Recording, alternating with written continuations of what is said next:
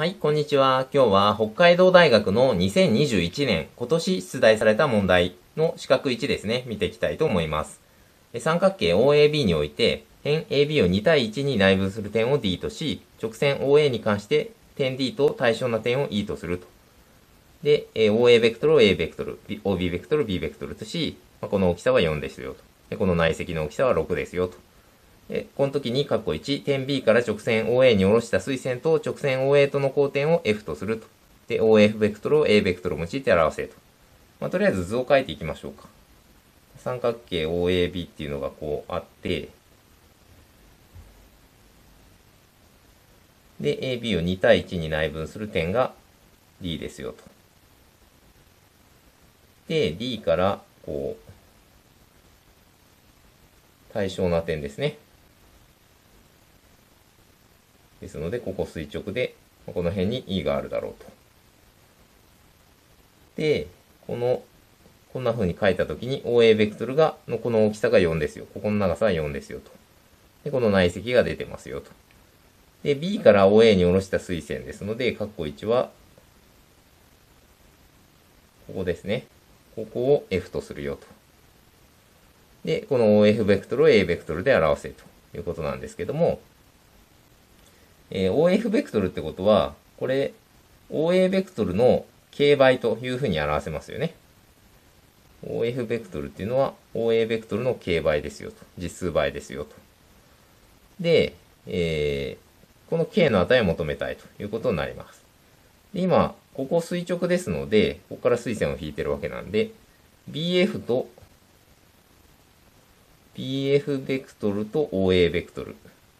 これは内積が0ってことですね。垂直なんで内積は0だと。で、あとは BF ベクトルっていうのを表していきましょう。BF ベクトルっていうのはこれですので、OF-OB ですね。OB ベクトルは B ベクトルですよと。で、あとは OF ベクトルはこれですよね。ですので、KA ベクトル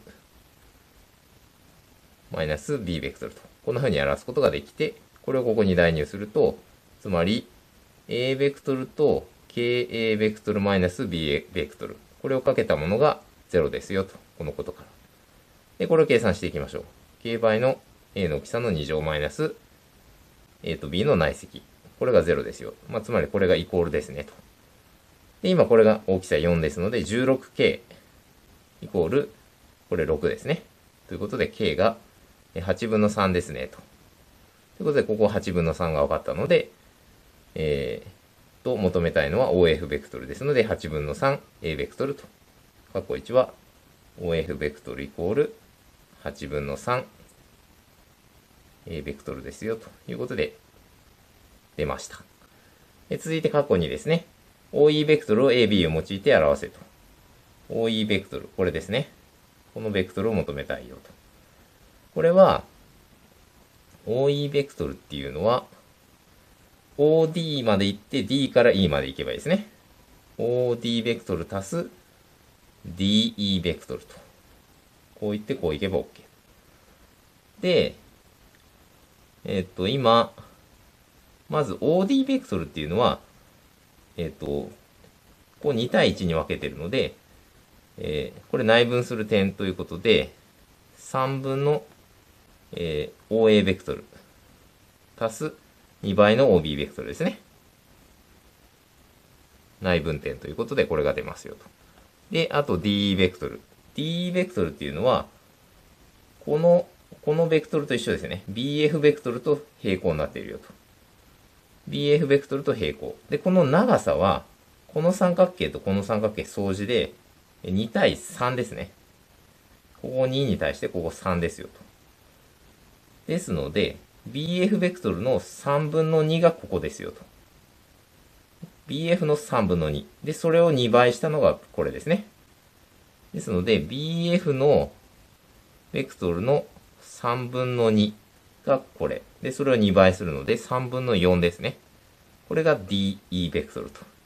DE ベクトルっていうのは3分の4倍の BF ベクトルと。こういうふうに表すことができますよと。BF ベクトルっていうのはさっき求めたこれですね。今 K は8分の3でしたので、これは8分の3の A ベクトルマイナス B ベクトルと。これをここに入れてあげると、こうなって、これを求めれば OK と。で結局これは2分の 1a だから3分の1と足して6分の 5a ベクトル足す3分の2とマイナス3分の4ですので、マイナス3分の 2b ベクトルと。ということで、これが OE ベクトルですねと。これが括弧2の答えということになります。で、続いて括弧3です。括弧3は三角形 BDE の面積が9分の5の時、この OB の長さですね、を求めようと。これは、えっと、BDE ですので、ここの面積ですね。この三角形。これが9分の5と。で、これは、ここ1対2で、で、えー、この高さがですね、今ここ等しいわけですよね。ここが今等しいと。この長さとこの長さ。ですので、この高さがここ1に対してこのこ2ですよね。ですので、この三角形の面積、赤いこの BDE の三角形の面積と、ここの三角形の面積っていうのは等しくなりますよね。